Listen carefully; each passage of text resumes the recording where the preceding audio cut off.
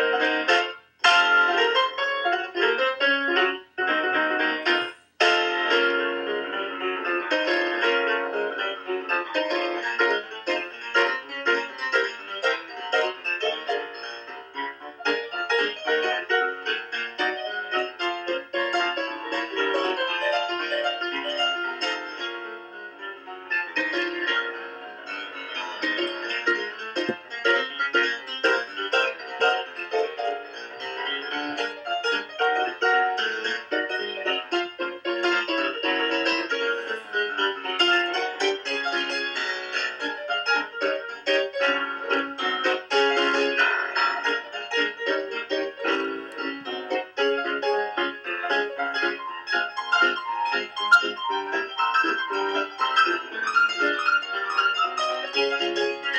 Hi, my name is Clarence Brown. I'm at the Eubie Blake Center, and I'm about to read an excerpt from my book, Needs.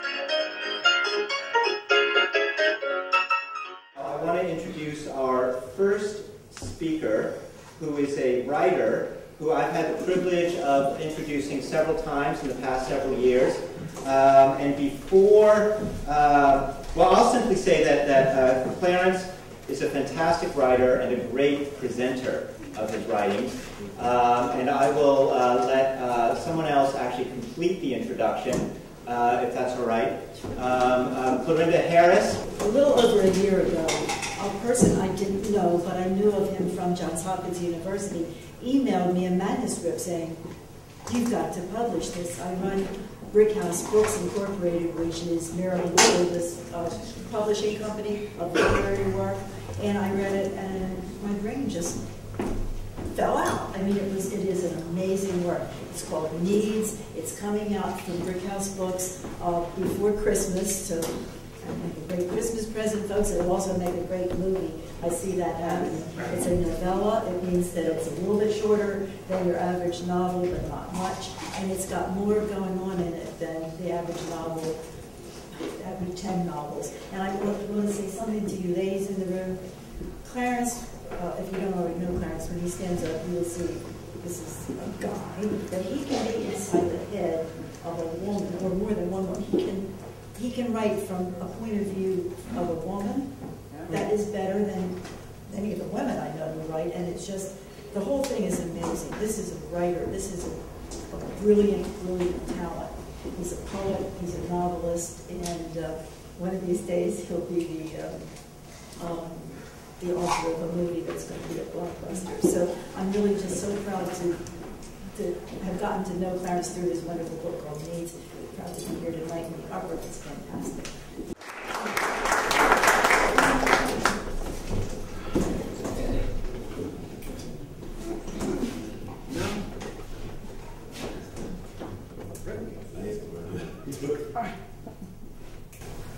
Um,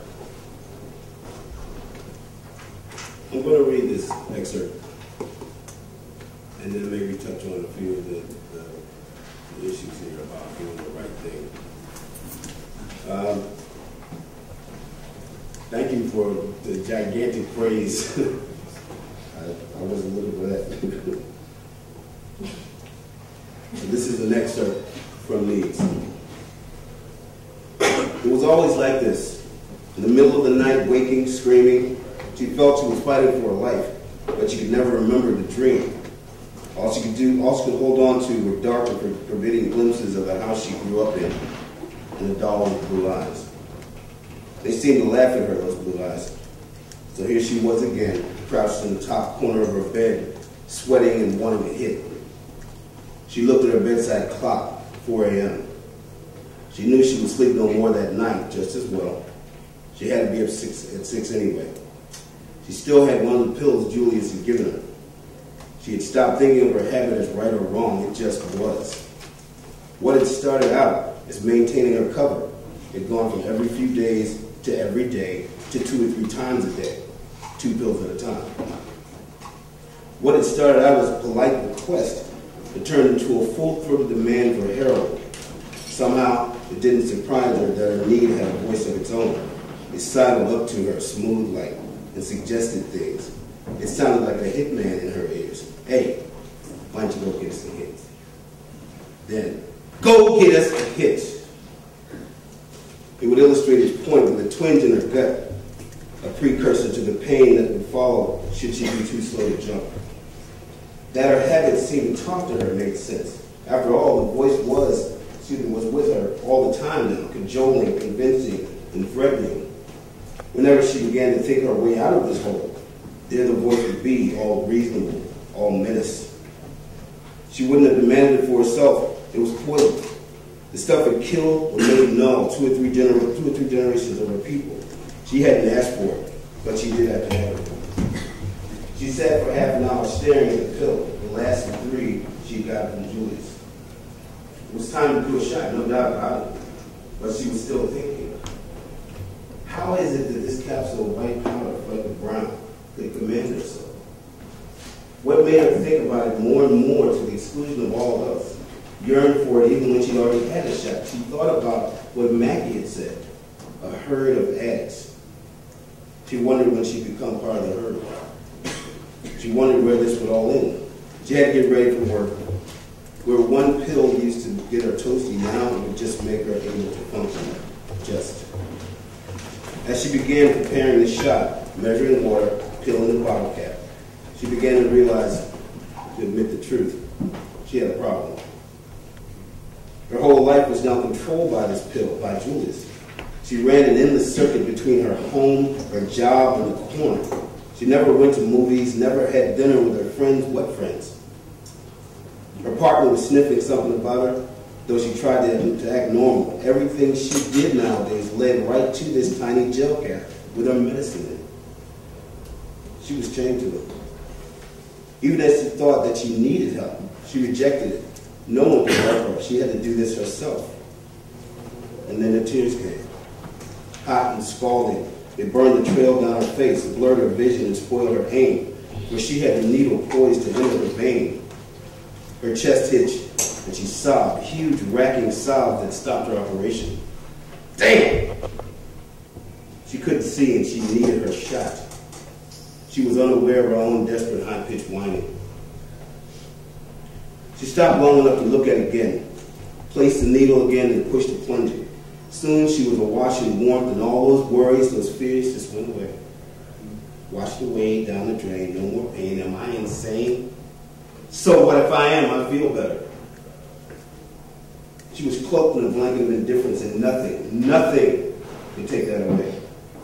It was all she needed. She put everything away, grabbed her jacket, and left. She ran into Al coming up the steps. Al wanted to talk to Brenda for quite some time about the problem, about himself, about the direction their careers were taking. Ever since he'd broken his leg, he and Brenda, through some string pulling he suspected she had engineered, had been homicide cops. That suited him. His leg couldn't stand the stresses put on it by the ripping and running of narcotics, but he thought he knew why the change for Brenda. He did not for one minute believe that his girl could not snap out of her downhill slide. She was tougher than that. She was like a brick wall with all its hardness and impenetrability. Brenda was made for the work of being a cop like he could never hope to be. But what made her so good at it made her dangerous, made it, made it dangerous to her. He had decided he was going to tell her what was up. No sugarcoating, no frills, no lace. He would make it clear as crystal, and if it hurt her, she'd survive. Whatever was driving her to the dope and away from herself, away from him, he would stop. He had to. He was in love with her. He sat in his crappy sky blue Mustang, not one of these new jobs, but one of those Mustang twos they rolled out and foisted on the public around 80 or 81. Terrible. He was slumped down watching the street wake up. This part of Park Avenue made him think of colonial Williamsburg. Many of the row houses looked like they dated from that time and were still viable, though a lot of the owners had them cut into apartments. Very few of these were still single-family homes. Hell, there were many parts of Baltimore where entire blocks had absentee landlords or just plain abandoned.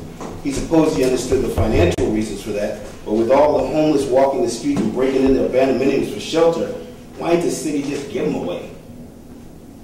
Al was simple like that. Someone had. Wasn't that way in Bolton Hill.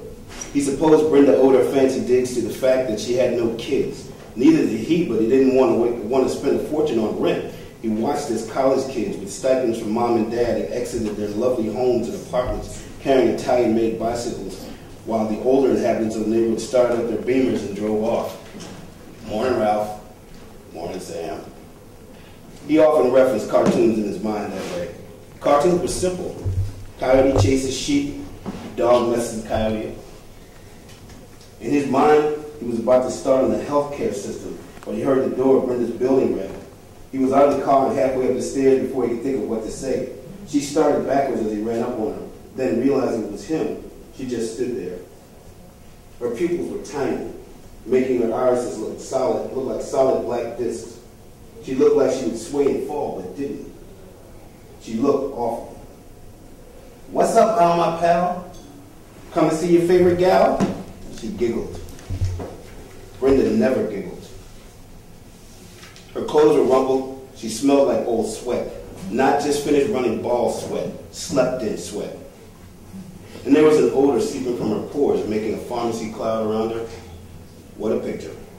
Tree-lined, park-like Park Avenue, with its federal splendor and little boot scrapers at the feet of marble stairs leading to ornate double doors on either side of the street, and Brenda swaying at the top of her stairs, stinking and wasted out of her mind, and on the way to work. This was going to take more time than he originally planned.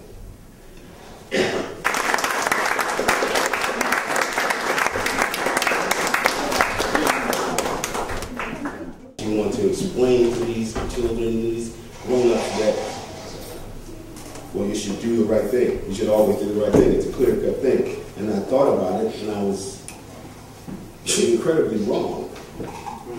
Um, I worked at the beginning of my addiction selling light bulbs. That was uh, 30 years ago. I'm calling people up, and I'm talking to the maintenance man, the plant director, uh, whoever's in charge. Who's whoever's in charge of this building?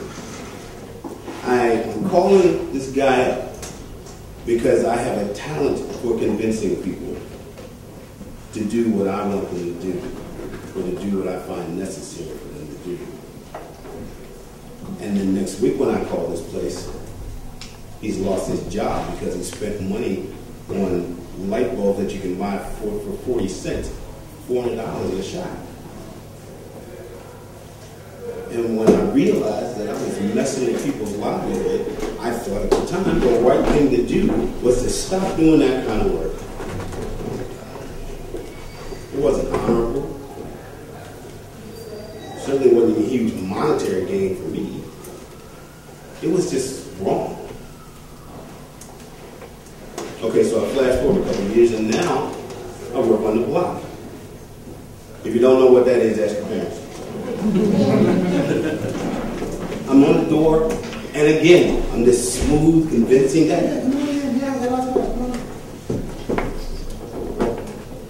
I didn't really care much about the guys who came down because they decided they wanted to be there. They got fleeced. If our hands got deep in their pockets, so what? What got me was the young ladies. Let's say, let's say 18, but sometimes they Beautiful girls who never should have came here. Never should have came here. And at the beginning of my addiction, I was, I was nice about it. I would say, you don't want to work here. You, you don't want to work here. I mean, this place will chew you up and spit you out. You don't, know, you don't. And towards the end of my addiction, I would say, yeah, I want it. Because the right thing for me to do at that point was get as much money as I could to support my dope habit.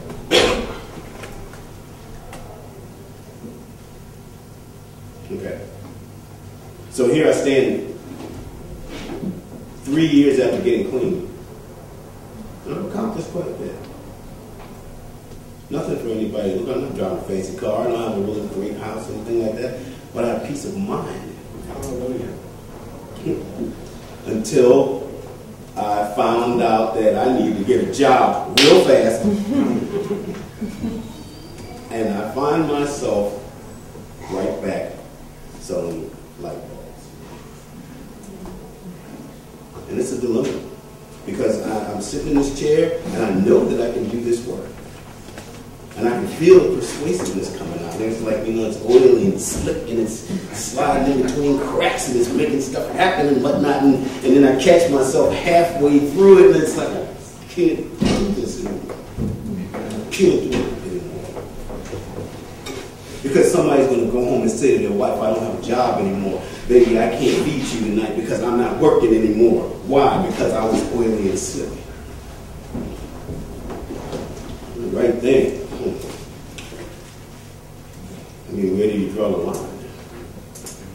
I know I have to feed my family,